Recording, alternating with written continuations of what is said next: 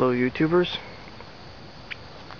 This is part two of the Craftsman Yard Tractor uh, Recondition Project. I took the engine off and two plates to hold the battery and the battery. And I'm working on stripping down to the frame. Getting everything off the frame so I can repaint that first. It's not as bad as it was when I first got this running. It was all over the place and very filthy. And it was even down in there, like even moss or dead grass in there or something. I think there's mice living in this once upon a time. Um, got the engine off and put on the my little handy dandy old mower deck slash engine uh, mower deck carrier uh, slash engine stand.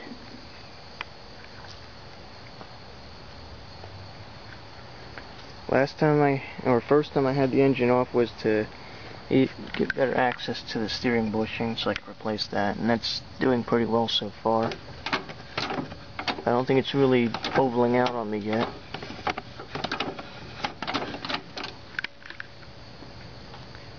Better not be. I want it to last a couple years or however long before I have to replace it again because it's not an easy job. But I have made it easier since I replaced the uh, um, the pin with a cotter pin. Before it was just one that, that gets pressed in. Besides, I kind of broke it trying to get it out. Um, so I guess all the wiring has to come off.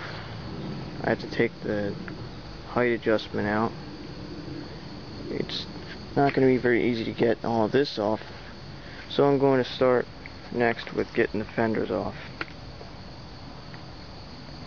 But for now I'm taking a break. I'm actually kind of waiting for my lunch to get done. It's in the microwave so.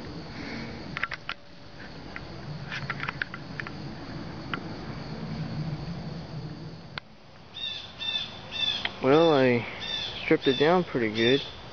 I had penetrating oil on the uh, on the step right there, that side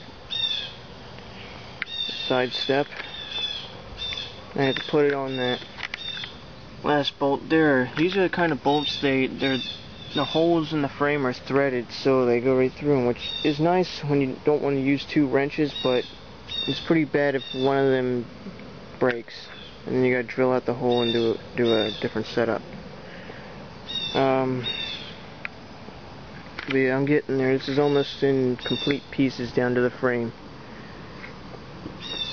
I just gotta get that side panel, the uh, floorboard, footboard, shifter plate, and the transmission has to be dropped out along with the front axle and the two hood brackets although I could probably keep them on, but I kind of want to do a full repaint so that it's so that any metal underneath isn't getting rusted out too. So I'm doing, I'm, oh yeah, the steering has to come out too. And the clutch pedal. Pardon the, the rude screeching blue jays over there, and the dog.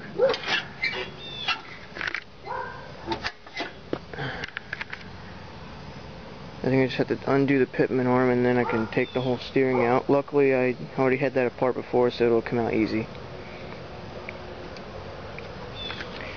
Transmission, I have some plans for that. I'm probably going to drill a, I'm going to measure this, sorry I'm not paying attention to the camera.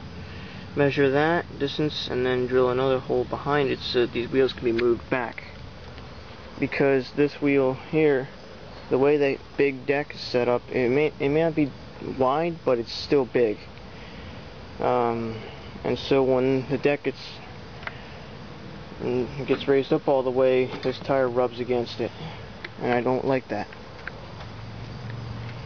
And I'm pretty sure there's mm, pretty much plenty of space for that. I don't know. Maybe I should swap out the pulleys or something. And there's a smaller pulley in that. It'll make this thing go faster, but it'll be able to fit the belt size a little better when I pull the tranny back. I don't know. Um, well, as you can see, I'm kind of losing daylight here. It's pretty much gone by now. It's quitting time for today.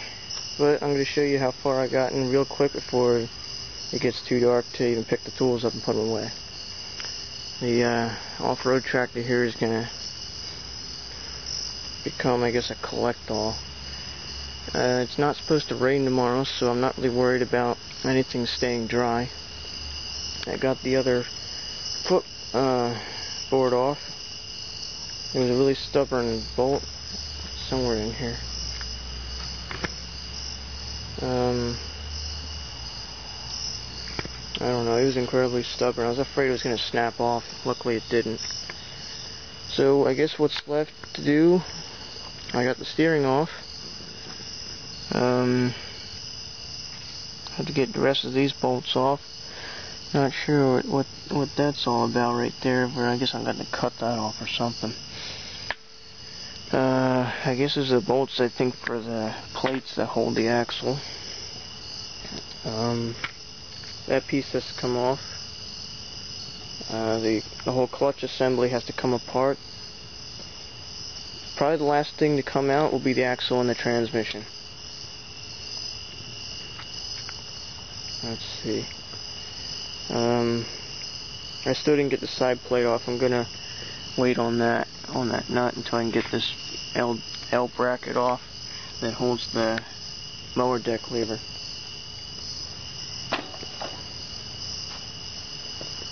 Um, so I guess I can. That's that's it for today's video. Later.